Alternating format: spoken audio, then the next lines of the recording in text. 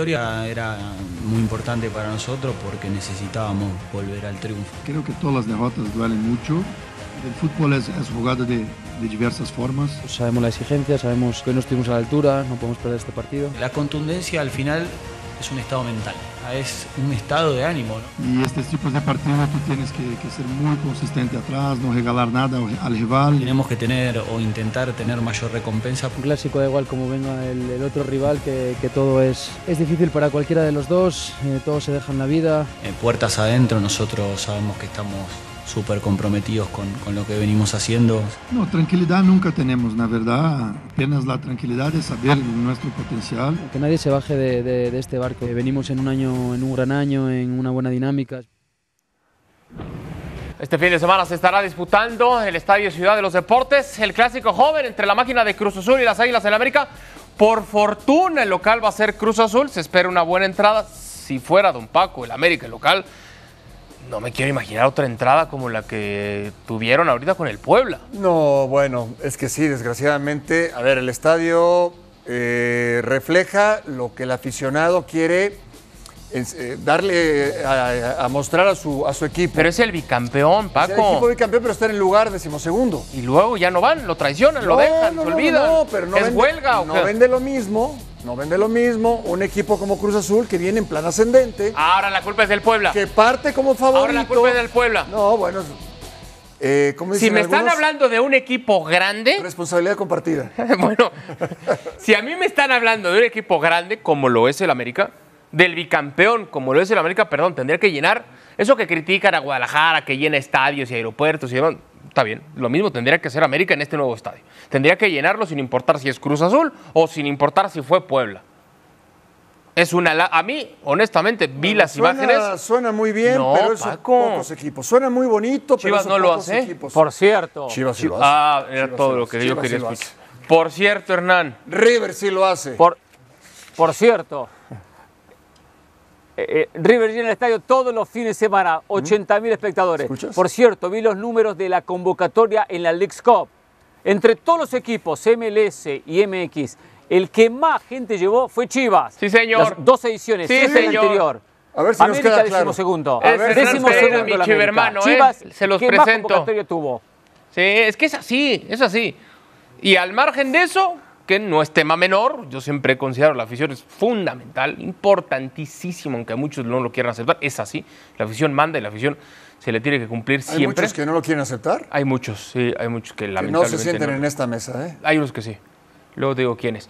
Al margen de eso, América necesita recomponer varias cosas. Sí. En el plano físico, yo veo un equipo desgastado, Sí, de acuerdo. anímica y De acuerdo. físicamente. Hay varios lesionados y no terminan por cuajar todavía.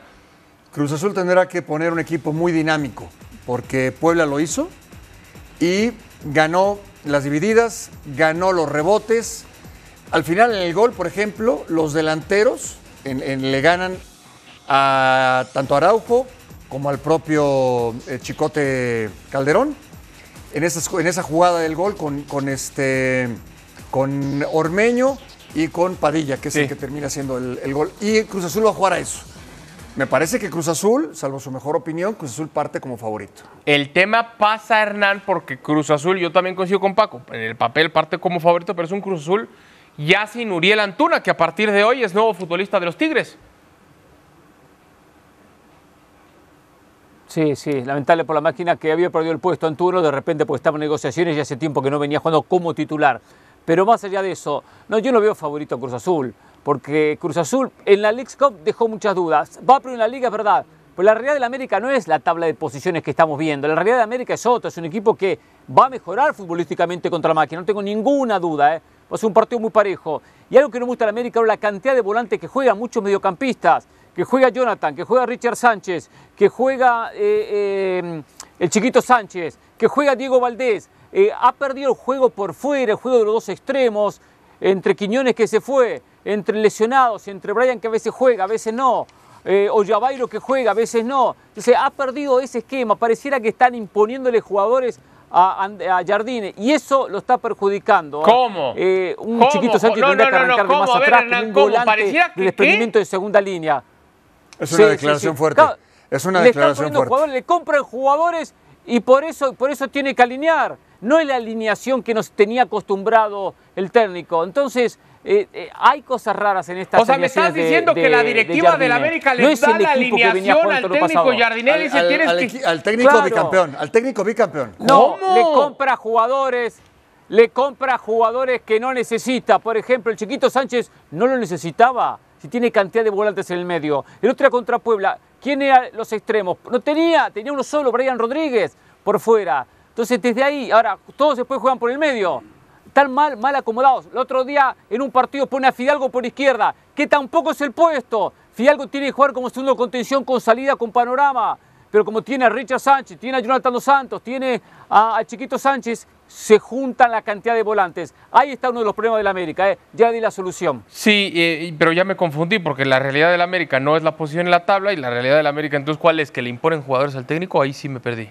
Pero la declaración de, de- de Hernán es muy fuerte, ¿eh? La de la imposición de, de futbolistas al técnico, una declaración fuerte. ¿Esa es información o es opinión, Hernán?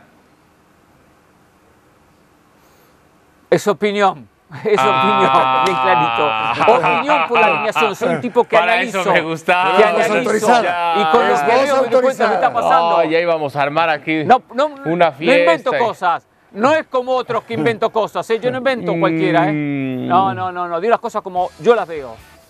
Bueno, esperemos que sea un buen partido este fin de semana. Bueno,